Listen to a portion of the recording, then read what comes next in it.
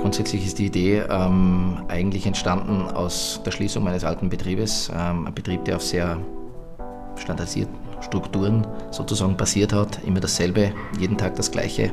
Das wollte ich einfach verändern. Somit haben wir gesagt, okay, machen wir ein Restaurantkonzept, das sich verändert.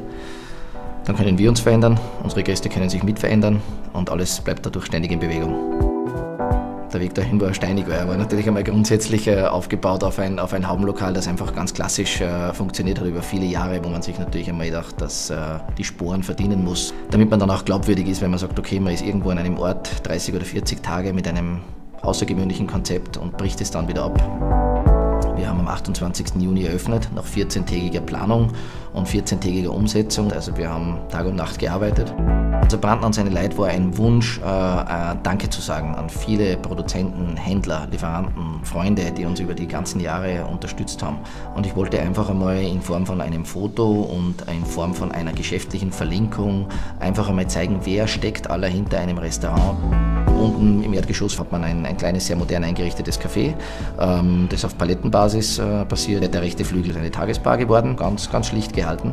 Und im oberen Bereich, im ersten Stock, ist das Restaurant mit einer offenen großen Schauküche. Und im hinteren Bereich haben wir uns unseren eigenen Stammtisch geschaffen und unser Lager.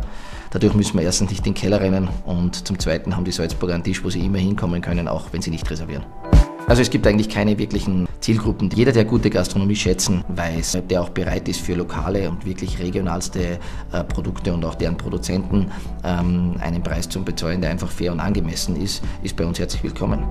Wir arbeiten mit sehr vielen oder eigentlich ausschließlich mit lokalsten Produzenten und es war der Wunsch einmal zu zeigen, was hat Salzburg zu bieten. Und zum Zweiten bieten wir eine Küche, die einfach international aufgestellt ist. Interessanter ist es doch einfach aus einem guten lokalen Zander einfach ein Chivis zu machen und sagen, okay, internationaler Touch, lokaler Fisch, wunderbare Geschichte. Wir arbeiten im Moment sehr stark über die Social Medias, am allermeisten über Facebook. Wir schicken dort ein Foto raus mit der Verlinkung der jeweiligen Person, die dort vorgestellt wird. Und das hat mittlerweile eine Reichweite von über 19.000 äh, Leuten. Jeder schaut sich das gerne an, jeder liest gerne durch, wer ist das, warum ist der da drin. Ah, interessant, der ist von der Müllabfuhr, okay, der macht das Lamm, der bringt das Brot. Es hängen 27 Fotos in 60 mal 60 an den Hauswänden, an den 27 Säulen des Hauses. Das sind auch die wirklichen Säulen. Lebensmittelproduzenten, große Getränkeproduzenten und äh, ein Zimmer ist rein die Erfinder und Unterstützer. In diesem gleichen Zimmer hängt eine bewegliche Galerie, wo natürlich mein Team in erster Linie einmal hängt und wo jeden Tag ein Foto dazukommt.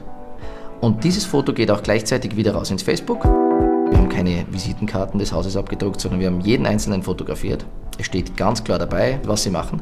Und du nimmst dir nicht äh, eine Visitenkarte des Hauses mit, sondern du nimmst dir eine Person mit. Nämlich diese Person von meinem Team, die du dir mitnehmen willst. An von meine Leid. Wirklich das mit den Regionalen und auch das mit den Fotos findet man ganz super, weil einfach man sieht halt, wo das Zeug herkommt.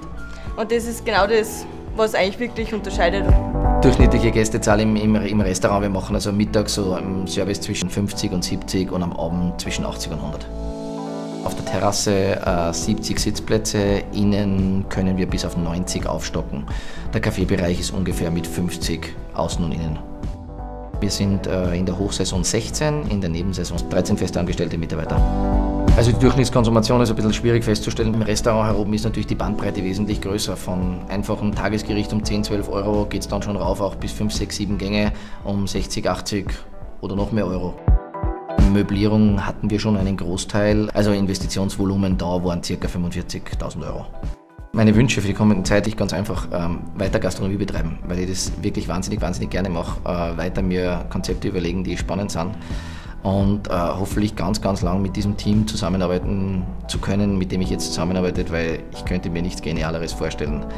Und äh, an dieser Stelle danke an meine Leute, danke an alle Leute.